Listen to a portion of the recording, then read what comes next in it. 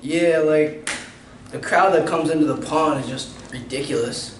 Like one time I had this guy, he came in, said that he was trying to sell his mom's pantyhose because she didn't need it anymore because she sold her left limb to buy African American coffee because the American coffee wasn't working. Like straight up, like that's just, that's just like one example, but like it's all the time, all the time. All right, well, today I'm hoping for a nice easy day.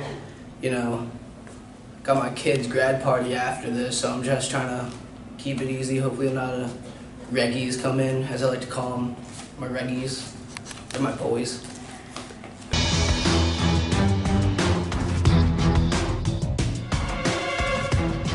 Got this water bottle here. Stole it from the Oval Office in Washington, D.C.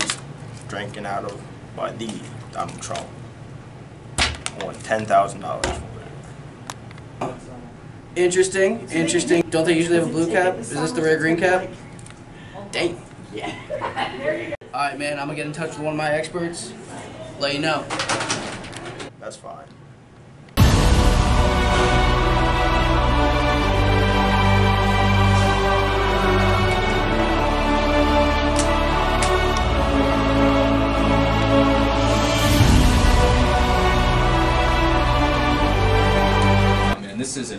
This is fake, yo. This is worthless. It's a piece of literally worth nothing. Yeah, the expert said that this John poopy for real, and like I can't take it. Like I wouldn't even give you like one of my socks for it.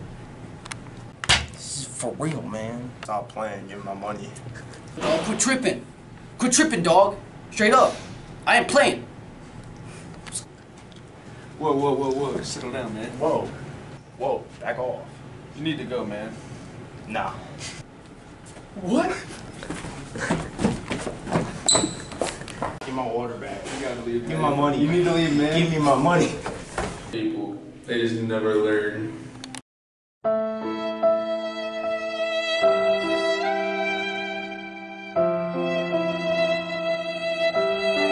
Water, what? Water, drip, water, splash, water.